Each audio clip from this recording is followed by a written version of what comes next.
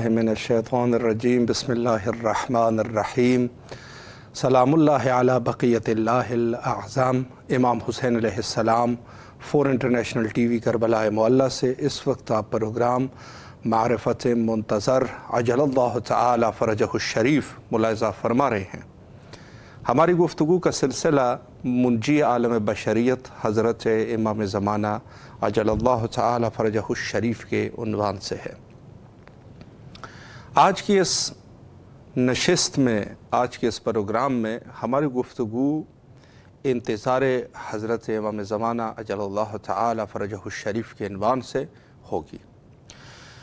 मुतवातर आम अतहार अलैहिस्सलाम से जो हदीस हम तक पहुँची, फरमाया कि और हती ज़ात सल्लल्लाहु अलैहि से फरमाया, अफजल आमाल उम्मती अफजल आमाल उम्मती इंतज़ारफ़रज मेरी उम्मत की सबसे अजीम इबादत सबसे बड़ा अमल इंतज़ार हज़रत इमाम ज़माना अजल्ला फ़रजशरीफ है बाज़ रवायात में फ़रमाया कि सबसे बड़ा जिहाद यानी हो सकता है कि इससे मुराद जिहाद बिन नफ्स हो यानी जिसको जहाद अकबर से तबीर किया गया, फरमाया कि सबसे बड़ा जहाद, सबसे बड़ा जहाद ज़मान ग़ैबत हज़रत बक़ीत रोह व अरवाहफ़िदा में सबसे अजीम जहाद ख़ुद हज़रत का इंतज़ार है।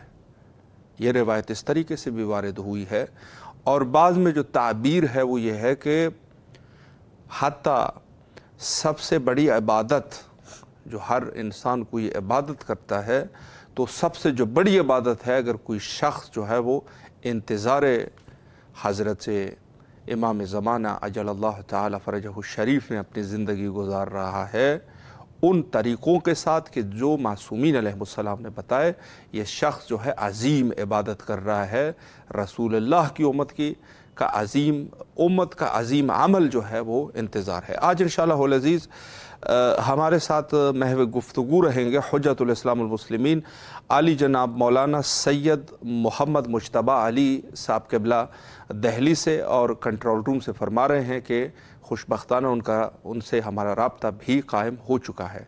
सलामकुम वरहमतुल्लाह वबरकatuh हुजूर कैसे मिजाज है? खैरियत से इन अल्हम्दुलिल्लाह अल्लाह आपको सलामत रखे। सबसे पहले तो बंदा हकीर और इमाम हुसैन इस्लाम मीडिया ग्रुप की पूरी टीम नहायत तह दिल से आपके ममनून और मशहूर है कि आपने अपने कीमती अवकात में से और मसरूफियात के बावजूद हमें वक्त दिया और ख़िदमत का ये मौका हमें फ़राहम फरमाया। बहुत शुक्रिया आपका भी और जजाकल्ला खुदा आपकी तोफ़ात में इजाफ़ा फरमाए। अमीन। शुक्रिया किबला। शुक्रगुजार है आपकी, बुजुर्गवारी है आपकी। मैं ज़्यादा, चूँकि टाइम मुख्तसर है तो कोशिश यही होगी कि ज़्यादा से ज़्यादा गुफ्तु आपसे ही ज़्यादा फैज़याब हो सके। पहला सवाल ख़ुद इंतज़ार के उनवान से मैं आपकी खिदमत में करना चाहूँगा कि जिस तरीके से पूरे मोमिन बशरीत जो है, मुंतज़र है हज़रत इमाम ज़माना जल्ला फ़रज शरीफ की तो ये इंतज़ार जो है, ये क्यों लोग जो है वो मुंतज़र है और इंतज़ार कर रहे हैं इस पर हुजूर अगर एक वजाहत फरमाएँ। जी बिल्कुल। देखिए इमाम ज़माना अजल्ला फ़रजह शरीफ का इंतज़ार ये आ, कोई नया अकीदा नहीं है। जी। ये एक ऐसा अकीदा है कि जो इब्तदाई बशरीत से लोगों के जहन में है। सही।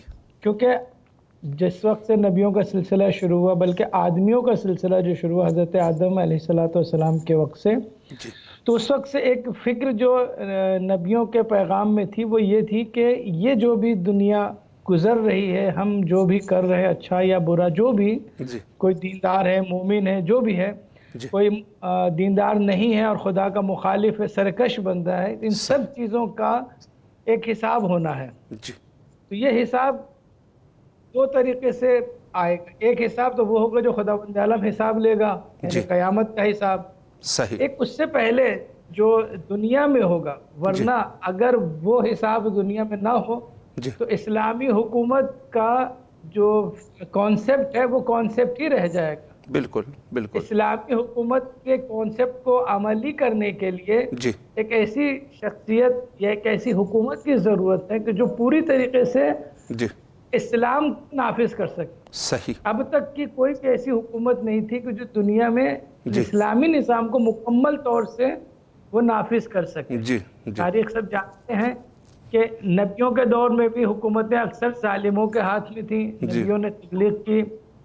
खुद पैगंबर अक्रम सल्लल्लाहु अलैहि वसल्लम ने भी जो एक निज़ाम बनाया इस्लामी निज़ाम वो पूरी दुनिया में नहीं फैला। यानी एक हद तक गया वो। बिल्कुल। एक बहुत बड़े इलाके में था लेकिन वो पूरी दुनिया में नहीं फैला। दूसरी बात कि हुजूर की वफात होती ही फिर वो निज़ाम बदल गया और शहनशाहियत बीच में आ गई। उसके बाद हुकूमतों का सिलसिला रहा। जी। वो एक निज़ाम अब बाकी है। बिल्कुल। वो निज़ाम कहाँ पर होगा?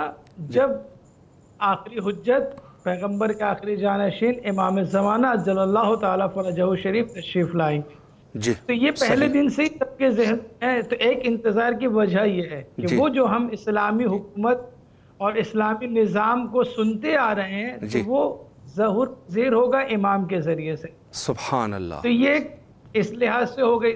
दूसरी बात ये कि जो हमने इब्तदा से ही सुन रखी है यानी सदर इस्लाम से बात जो चली आ रही है कि इंतज़ार करना ज़रूरी इंतज़ार की ताकीद की गई है। हम इंतज़ार करें। तो जब हम इंतज़ार करें ताकीद की गई है तो इसके पीछे कोई ना कोई हिकमत ज़रूर है। सही बिल्कुल आज कुछ लोग जालिम है दुनिया में कुछ मजलूम है। जी। तो जालिम के जालिम ही रहेगा मजलूम के मजलूम ही रहेगा? दिन नहीं बदलेंगे। बिल्कुल। दिन बदलेंगे। जी। उनके दिन बदलेंगे जो आज जुल्म कर रहे हैं। जी। उनको भी हिसाब होगा जो आज जालिम है तो उनको भी बदला मिलेगा उनका जो आज उन्होंने आज जो मजलूमों ने जो जुल्म सहा उनको भी बदला मिलेगा। यकीनन तो यकीनन। हदीस में बयान किया गया कि इंतज़ार कर, इंतज़ार करो आखिरी सुबहान अल्लाह पैगंबर अकरम हज़रत मोहम्मद मुस्तफ़ा सल्लल्लाहु अलैहि वसल्लम की हदीस। है मोहम्मद जी। जिसमें आपने बारह फरमाया है मेरे बारह जानशीन होंगे। सुबहान अल्लाह उनमें से आखिरी जो है वो गैबत पे चले जाएँगे उनकी गैबत तुलानी होगी। अल्लाह। और उस वक्त जहूर होगा कि जब दुनिया मुकम्मल तौर से जुल्म बरबरीत का शिकार हो चुकी होगी हर तरफ़ जुल्म मचा होगा। सही। तो उस वक्त इमाम जहूर होगा और वो जहूर वो जब होगा तो उसके बाद फिर वही निज़ाम इस्लामी कायम होगा कि जुल्म का खात्मा होगा फिर अदल इंसाफ की हुकूमत होगी। बेशक फिर वो तमाम मजलूमों को उनकी जजा मिलेगी तमाम सालिमों से हिसाब लिया जाएगा। सही। अच्छा हम इंतज़ार क्यों करें एक तो वो कि भाई दुनिया का हिसाब होगा ठीक। हम न हम जुल्म नहीं कर रहे हैं। जी। हम मजलूमों के साथ ही हैं हम भी कहीं ना कहीं मजलूम वाक़ हो रहे हैं। तो एक तो वजह इंतज़ार की हो गई हमारी। सही। दूसरी वजह इंतज़ार की जो मैं समझता हूँ बहुत अहम है वो ये है कि इंतज़ार एक ऐसी कड़ी है जी। जो हमें अहल बैत से और खासकर इमाम ज़माने से जोड़ के रखे हुए है। सुबहान अल्लाह वाह क्या बात है बेशक। इंतज़ार नहीं होगा तो फिर हम हमने आज सुबह की। दिन भर घूमे फिरे काम काज के खाए पिए और सो गए खत्म। जी जी। फ़िक्र फरता नहीं हमारी। कल की फ़िक्र नहीं है। बिल्कुल। लेकिन इंतज़ार का मतलब ये है कि हम कल से गाफिल नहीं हैं। सही। हम कल की फ़िक्र रखते हैं तो जब हम कल की फ़िक्र रखते हैं इमाम के ज़ुहूर की इंतज़ार कर रहे हैं तो फिर क्यामत पर भी हमारा अकीदा है। बेशक तो क़यामत पर अकीदे का इस्तेकाम मुनहसर है ज़ुहूर पर। बिल्कुल। जो ज़ुहूर से गाफिल है वो क़यामत से भी गाफिल है। यकीनन यकीनन। अच्छा जो इंतज़ार कर रहा है फिर उसमें क्या फ़र्क होगा दूसरों से? जी। जो गाफिल है उन, उनकी तो छोड़ दीजिए लेकिन जो इंतज़ार कर रहा है इमाम का हम इंतज़ार कर रहे हैं हमें दावा है कि हम इमाम को मुंतजर है। तो जब हम मुंतजर हैं तो हमारे में तब्दीली आनी चाहिए। सही। फिर हम हर काम ये सोच कर करेंगे कि हमारी फ़ाइल कल इमाम के पास जानी है। अल्लाह। इमाम का सामना हो तो हम अपने अमाल को इतना इस काबिल कर लें कि कल जो इमाम के सामने हम पेश हों तो हमारा सर शर्मिंदगी से झुके नहीं। जी जी बिल्कुल। अकीदत में हम इमाम के सामने ऐसे खड़े हों कि इमाम देखकर मुस्कुराएँ कम से कम। कि भाई ये हमारा शिया है। इसने मेरे इंतज़ार में ज़िंदगी गुजारी है। अल्लाह मेरे रास्ते पर चल कर आया है और उस आ, उस सीरत को अपनाया है जो जिसका इसकी ताकीद पैगंबर के ज़रिए की गई। अहल बैत का इत्तेबा करना चाहिए। जिसके लिए मैं एक हदीस का सहारा ले रहा हूँ जी बिस्मिल्लाह। कि पैगंबर अकरम सल्लल्लाहु अलैहि वसल्लम की हदीस है कि इन नमा मसल अहल बैती फीकुम कमसल सफीन तिन्नु सुभान अल्लाह मन रकेबा अच्छा जी। तखल्लफ अनहा गरक गरक़ जी। बिहारुल अनवार इस सफ़ा 105 में ये हदीस है सही। कि मेरे अहले बैत की मिसाल कश्ती नूह जैसी है। वाह। जो इस कश्ती से वाबस्ता हो गया सवार हो गया उसको निजात मिल गई। जो इससे दूर चला गया वो गर्क हो गए। हदीस मशहूर है सब जानते हैं। तो आज की हमारी वाबस्तगी मुनहसर है इमाम के इंतज़ार में। जी। आज हमारे वक्त के इमाम है पर्दा गैब यानी ज़ाहिरी तौर पर हमसे इमाम हमारा हमारा इमाम से सामने नहीं है ज़ाहिरी तौर पर। जी।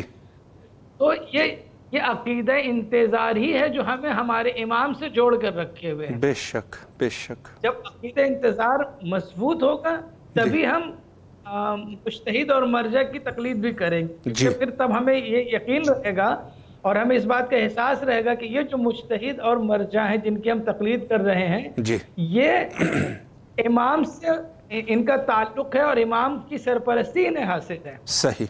तो बिल्कुल हम इनको मान रहे हैं मतलब गोया इनडायरेक्टली हम इमाम के उसी रास्ते पर चल रहे हैं जिसका नाम है इंतज़ार। आज हम इनके साथ चल रहे हैं इंशाल्लाह जी। इन्हीं के साथ हम इसी निज़ाम के तहत हम इमाम तक भी पहुँचेंगे। तो इंतज़ार की ये वजह है। जी जी। दूसरी बात आखिर में बस मैं अपनी बात मुकम्मल करूँ कि जी जी जी। इमाम ज़माना अजल्लाह ताला फरजहु शरीफ खुद फरमा रहे हैं कि मेरे इंतज़ार की दुआ मेरे जहूर की दुआ करो। क्यों? सही। क्योंकि इसमें तुम्हारे लिए भलाई है। जी जी।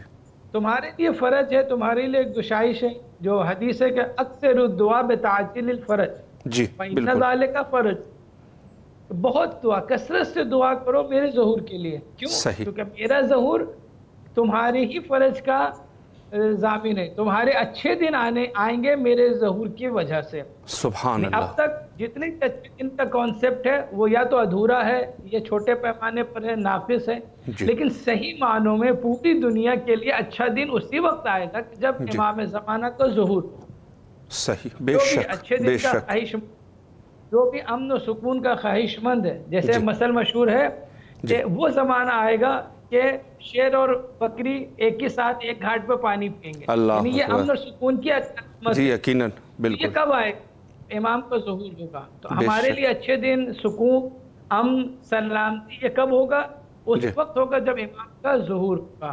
फिर हमें अच्छे दिन के इंतज़ार के लिए ज़रूरी है कि इमाम का इंतज़ार करें दुआ करें ताकि इमाम के जहूर में ताजील हो सके। और जब इस लिहाज से इंतज़ाम करेंगे तो फिर हमारा अमल यकीनन सुधर जाएगा। हम गुनाहों से यकीनन परहेज करेंगे। हम अपने किरदार को संभालने और सुधारने की कोशिश करते रहेंगे। ताकि जब इमाम का ज़हूर हो फिर हम इमाम के सामने जाकर सुरखरू हो सकें। बेशक।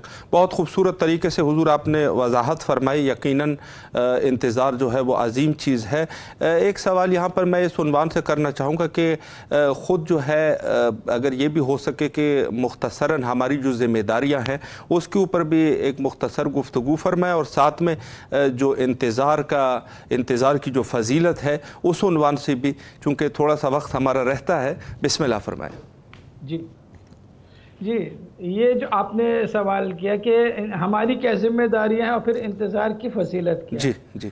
तो देखिए ज़िम्मेदारी तो बहुत आसानी से इसको समझाया जा सकता है कि अगर हम अपने घर में किसी मेहमान का इंतज़ार कर रहे हैं वाह। तो हम कोई चाहे वो आने वाला रिश्तेदार हो दोस्त हो या कोई भी हो आम हो या खास हो वीआईपी हो कोई भी मेहमान हो बिल्कुल। तो उसी के एतबार से हम अपनी और अपने घर की तैयारी करते हैं। घर की साफ़ सुथरा करते हैं सजावट करते हैं ज़रूरी इंतज़ाम करते हैं यकीन खाने वगैरह का इंतज़ाम तो जब हम इमाम के इंतज़ार में हैं।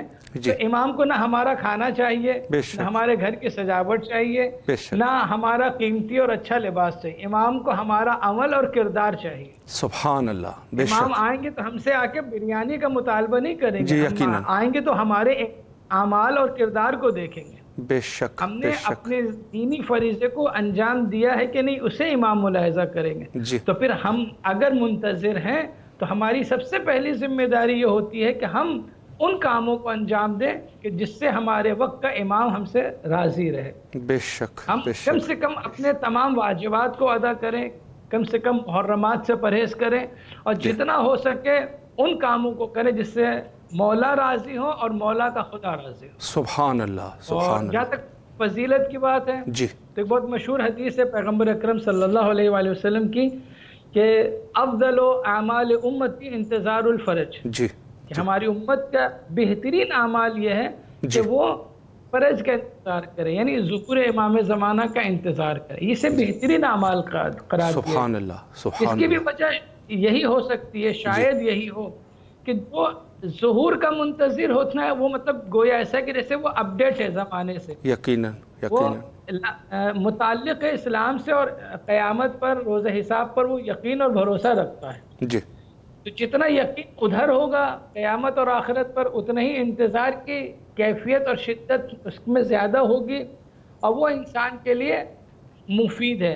सही। ऐसे इंतज़ार के साथ जब हम नमाजें भी पढ़ेंगे हम रोज़े रखेंगे दूसरी दीनी अमूर अंजाम देंगे तो फिर हमारी उस नमाज़ और आम नमाज़ में फ़र्क हो जाए यकीनन बिल्कुल। ताकि हम हमें ये होगा कि भाई हमारे नाजिर है हमारे एक एग्जामिनर है जो कल हमारे पास आने वाला है। सही। तो फिर हम हर अमल को बेहतरीन तरीके से अंजाम देने की कोशिश करेंगे। बेशक ये हम कहते हैं ना कि आएँगे इमाम तो हर जुल्म का हिसाब होगा तो सिर्फ़ जुल्म का हिसाब नहीं होगा हर अमल का हिसाब होगा। बेशक बेशक। यानी हमसे भी पूछा जाएगा कि तुम तो हमारे चाहने वाले थे तुमने क्या किया? यकीन बिल्कुल बिल्कुल। उस क्या क्या का जवाब हमारे पास होना चाहिए कि मौला आपकी गैबत में हमने ये किया ये नहीं किया इससे परहेज किया इस पर अमल किया ये सब कुछ किया।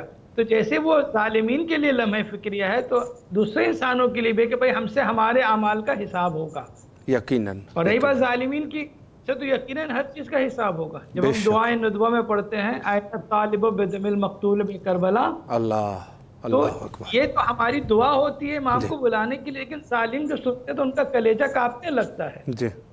तो उन्हें भी मालूम कहीं ना कहीं किसी न किसी ज़रिए से कि जो आने वाला जब आएगा तो हर एक चीज़ का हिसाब लिया जाएगा। बेशक। तो हर एक चीज़ में जुल्म भी शामिल है हर एक चीज़ में दीन की मुखालफत भी शामिल है जिसने भी इस्लाम के खिलाफ जो भी काम किया वो सब कुछ शामिल है। चाहे इस्लाम के खिलाफ हो इंसानियत के खिलाफ हो दुनिया के खिलाफ हो दुनिया के अमन सुकून के खिलाफ हो जिसने भी जो भी जुल्म किया होगा जर्रा बराबर सबका हिसाब इमाम आकर लेंगे। बेशक है तो बेशक। जब जब हम इस अकीदे पर कायम रहेंगे तो फिर हमारे अमाल बेहतर होंगे और यही दुआ है कि खुदा बंद आलम हमारे इस अकीदे में हमें और साबित कदम रख। के ज़रिए से हम अपने किरदार हार सकें संवार सकें। इलामीन इलामीन किबला नहायत ही आपके शुक्रगुजार है, बहुत ही खूबसूरत गुफ्तु आपने फरमाई, नहायत ही मुहिम नुकात पे इशारा फरमाया। आखिर में एक मिनट में नहायत ही मुख्तसर वक्त में अगर कोई पैगाम मोमिन के लिए देना चाहते हैं, इमाम ज़माना अज अल्लाह फ़रज शरीफ के उनवान से तो इन इमाम हुसैन टी वी स्क्रीन से मोमिन समात फरमा रहे हैं। बिस्मिल्लाह फरमाएँ। पैगाम क्या बहरहाल पैगाम देने के लिए मैं बहुत छोटा हूँ अभी लेकिन गुजारिश ही है जो अपने एक दर्द दिल है जी। उम्मत के लिए कौम के लिए वो ये कि देखिए किसी को खुश करना हो या ना करना वो अलग बात है। जी जी। जी बिस्मिल्लाह फरमाए। जी गालिबन रबता हमारा मुनक़ हो चुका है।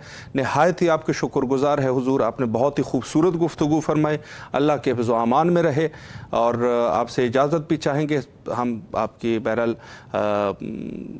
दिल्ली तमन्ना थी कि जो आप फरमाना चाह रहे थे, एक पैगाम देना चाहते, दे देते। अगर रबता हो जाए तो बेहतर है, अगर नहीं हो सका तो इन गुफ्तु को आगे इसी उनवान से रखेंगे वैसे इन्होंने जो गुफ्तु फरमाई और उसमें से जो मुहिम नुकता, ख़ुद ज़िम्मेदारी के उनवान से इन्होंने फरमाया, बहुत ही पुरमाना नुकता, नहायत ही बारजिश नुकता जो इन्होंने फरमाया कि ख़ुद जिस शख्सियत का इंतज़ार किया जाता है यकीनन उसी एतबार से हम जो है अपने घरों को, अपने आप को मुरतब करते हैं। उसी तरीके से अपने आप को आमादा करते हैं। अगर मेहमान जो है वो कोई खाने पीने वाला मेहमान है तो ज़ाहिर सी बात है कि बेहतरीन ताम का बंदोबस्त उनके लिए किया जाता है कि तशरीफ़ वो ले आए और वहाँ पर उनके सामने अच्छे खाने रखे जाए।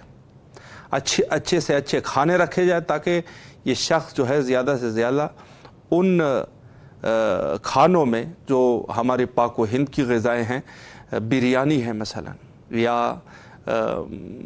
दूसरे बहुत सारे खाने जो लोग जो है वो खाते हैं और उसी एतबार से उनके लिए उन नमत इलाही का बंदोबस्त किया जाता है। लेकिन अगर मेहमान ऐसा है कि जिनको ये सब चीज़ें नहीं चाहिए, बल्कि उनको वही चीज़ चाहिए कि जो उनके उनके जद बुज़ुर्गवार हज़रत से मोहम्मद मुस्तफ़ा सल्लल्लाहु अलैहि का दीन है, वही चाहिए तो ज़ाहिर सी बात है कि फिर आमादगी भी उसी एतबार से करनी होगी। और इसके लिए ज़रूरी है कि हम उसी पर, वहीं पर बात आ जाएगी कि हम जो है वो अभी से ही अपने आप को आमादा करें। अभी से अपने आप को आमादा करें और जो बुज़ुर्गान दीन ने जो तरीक़ा बताया कि किस तरीके से आमादगी करनी है, वो यही है। उसमें से जो मेन इब्तदाई जो तरीक़ा है, वो यही है कि इंसान जो है वो आदाय वाजबात में कोताही न करे और तर्क मुहर्रमात कर ले।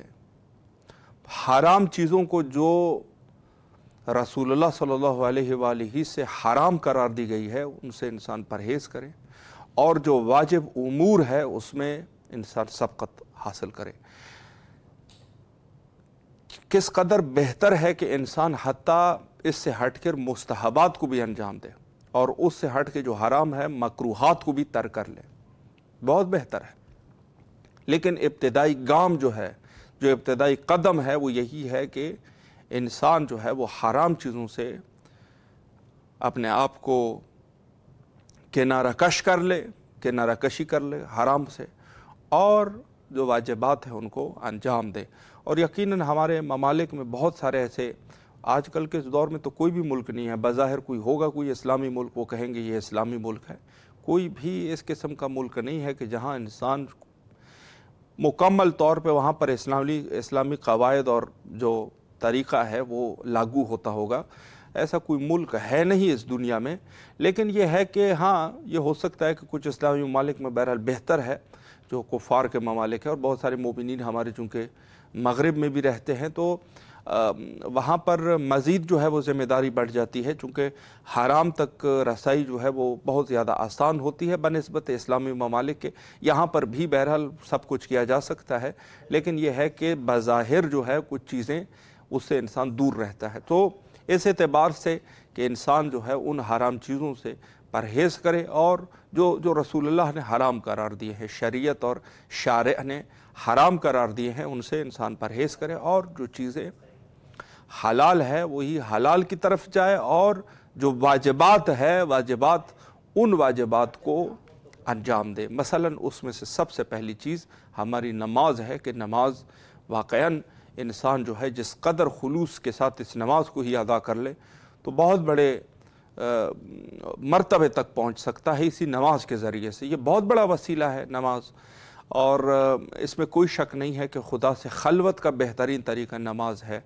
इंसान जो है वो इन ही इसी नमाज़ के ज़रिए से ही क़ुरब खुदा के उस मनाजिल तक पहुँच सकता है। और बाकी भी जो वाजबात है मसला ख़ुद माह रमज़ान का रोज़ा है या खुमस ज़क़़त है या दीगर जो हज है तो ये सब के सब चीज़ें हमारे ऊपर वाजिब है, ज़रूरी है, लाजमी है कि हम वाजिबात की तरफ़ जाए और इंतज़ार का जो तरीक़ा बताया गया है, उन्हीं एतबार से हम इंतज़ार को करें। वक्त हमारा तकरीबन इंतहा पर पहुँच चुका है और तमाम मोमिन के लिए दुआ गो है, अल्लाह हम सब के तोफ़ीक़ात खैर में इजाफ़ा करें और आखिर में दुआ करते हैं अल्लाह अज्जल वली कल फ़रज।